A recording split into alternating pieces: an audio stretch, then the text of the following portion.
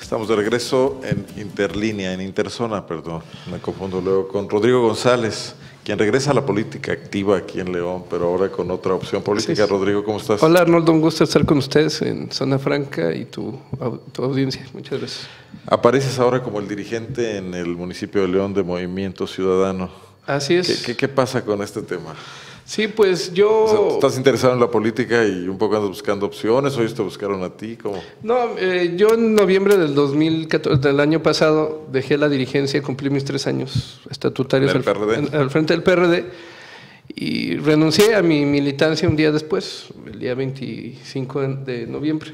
¿Qué, qué, qué pasa ahí? Después de ser dirigente, dejar un partido, ¿era diferencias con la dirigencia nacional, con pues, lo que mira, pasa en el Estado? De por sí, durante toda mi trayectoria tuve muchas diferencias con la dirección. Sobre todo la, ya lo habíamos comentado, mis diferencias fueron públicas con la dirigencia estatal, este, nacional, pues por una línea política que no estaba conduciendo a prácticamente nada. Pero de por sí fuimos críticos con la firma del Pacto por México, fuimos críticos con esta mm, omnibulación o pérdida del sentido ideológico y programático del partido y luego los sucesos de Ayotzinapa realmente me, me simbraron y decidí dejar mi militancia. Fue una decisión dura, difícil, pero pues ya eh, vuelta a la página. ¿Qué encuentras en Movimiento Ciudadano? ¿Qué tipo de partido es? Hubo un acercamiento por el... son de izquierda. Yo, yo la verdad pensaba tomar unas largas vacaciones después de estar tres años y dos periodos electorales muy intensos, pero hubo un acercamiento con el partido tanto a nivel estatal y nacional. Tengo buenos amigos ahí, eh, nos conocíamos por, por andar ahí en, en la situación electoral y me plantearon un proyecto muy ejecutivo, un proyecto de largo y alcance desde mi punto de vista. Y pues bueno, estamos aquí dando la, la batalla. Creo que la coyuntura de León ameritaba que intentáramos, intentáramos perdón, hacer este esfuerzo, donde el PRI y el PAN pues, otra vez están disputando la presidencia municipal. Pero vamos a ver la izquierda muy dividida, ¿no? Lo que ha conformado los, las opciones de izquierda en el pasado. Sí, Morena, por un lado, PRD, sí. ustedes, no sé si bueno, PT se Bueno, nosotros pensamos que el PRD ya no es un partido de izquierda, ¿no? Ya lo metemos en el bonche de los partidos de derecha, sobre todo como viene actuando en León y en el estado de Guanajuato. Pero bueno, esa es situación de ellos. Nosotros sí creemos que hay que abrir una tercera opción contra el PRI y el PAN lejos de los atavismos ideológicos, si somos de derecha o de izquierda, eso ahorita yo creo que a la gente no le preocupa mucho. Claro, hay que defender tus principios. Eh, Movimiento Ciudadano es un partido que mantiene una línea progresista. Entonces, se ha mantenido bien, ha acompañado las dos campañas presidenciales de Andrés Manuel López Obrador y pues se ha mantenido una línea crítica ¿no? contra el, sistema, el gobierno del PRI. ¿Lo sigue dirigiendo a nivel nacional Dante Delgado? Sí, lo sigue dirigiendo él. ¿No hay ahí un poco un tema de una, un partido en torno a una persona, como ocurre en el Verde, por ejemplo? No te sabría decir, yo no tengo el gusto de conocerlo. Por su trayectoria política creo que ha sido congruente los últimos años con el movimiento progresista y pues es todo lo que a mí me toca evaluar. Ya eso lo definirán eh, algunos otros compañeros del partido. ¿Qué ves en León? ¿Qué posibilidades hay para ustedes como partido político en la próxima elección? Creo que si hacemos las cosas bien, rápido y de manera eficiente, nos vamos a meter en la pelea eh, para lograr contenderle al tú por tú al PRI y al PAN, a Santillana y a...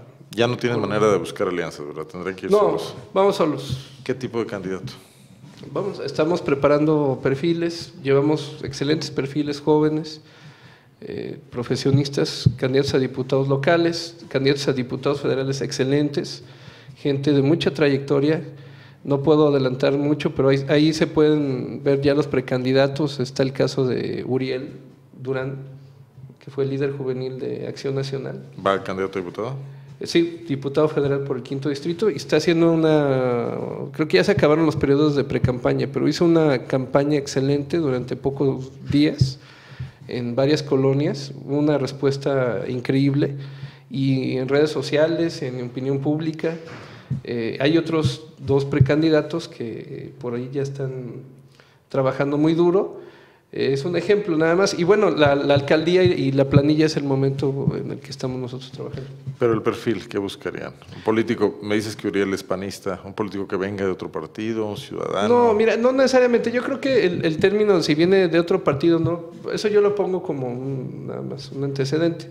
Pero mm, estamos ahí analizando, mm, sobre todo un candidato joven que no sea, este, que sea un punto de contraste contra Córdoba y contra Santiago, que con todo respeto. Menor de 40.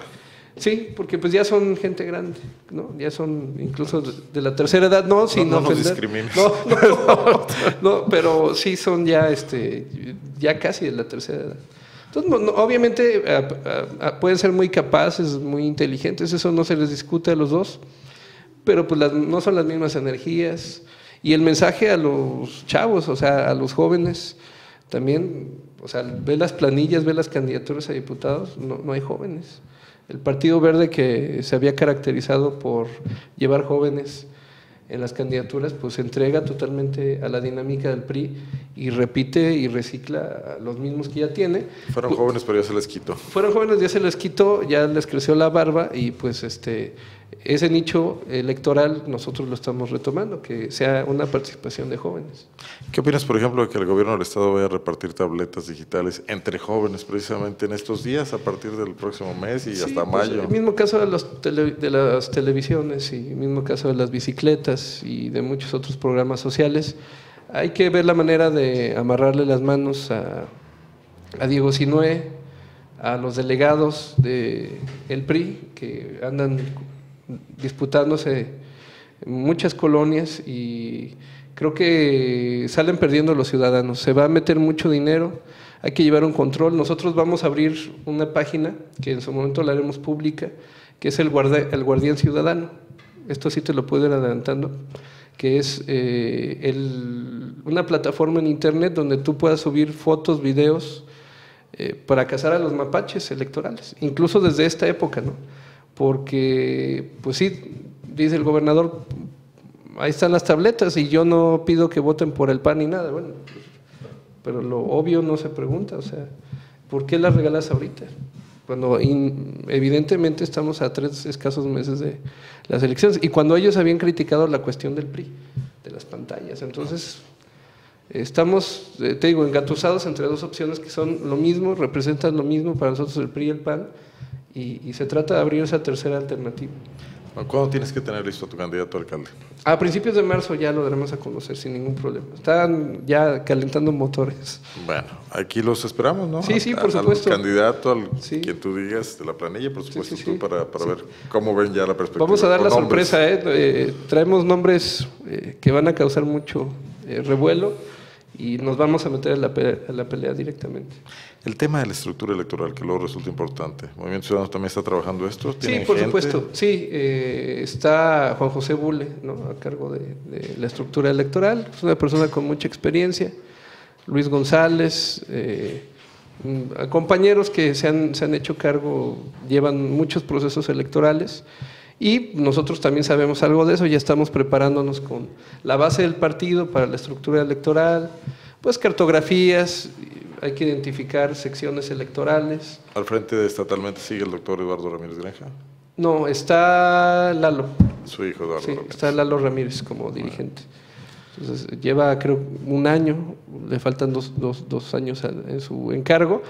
Y cabe decirte que también eh, llevamos una excelente relación con ellos. Eh. No nos han pedido nada, que no hay ningún acuerdo abajo de la mesa. Yo he escuchado muchas críticas en ese sentido de que por qué si era un partido familiar o una situación pues incómoda ¿no? para, para ellos y no, eh, increíblemente desde que llegamos al partido las puertas abiertas, no nos han pedido seguir una línea, al contrario, nos han dado toda la apertura para que el, el, movimiento crezca y realmente que sea un instrumento de los jóvenes de la ciudadanía, simplemente ese es el compromiso. Entonces, la verdad, eh, sí, sí hay que recalcar esa actitud que han tenido. Muy bien.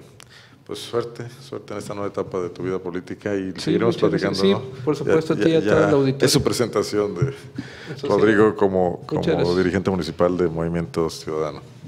Muchas gracias, agradezco. Gracias. Déjeme hacer una pausa. Continuamos. Tenemos un enlace telefónico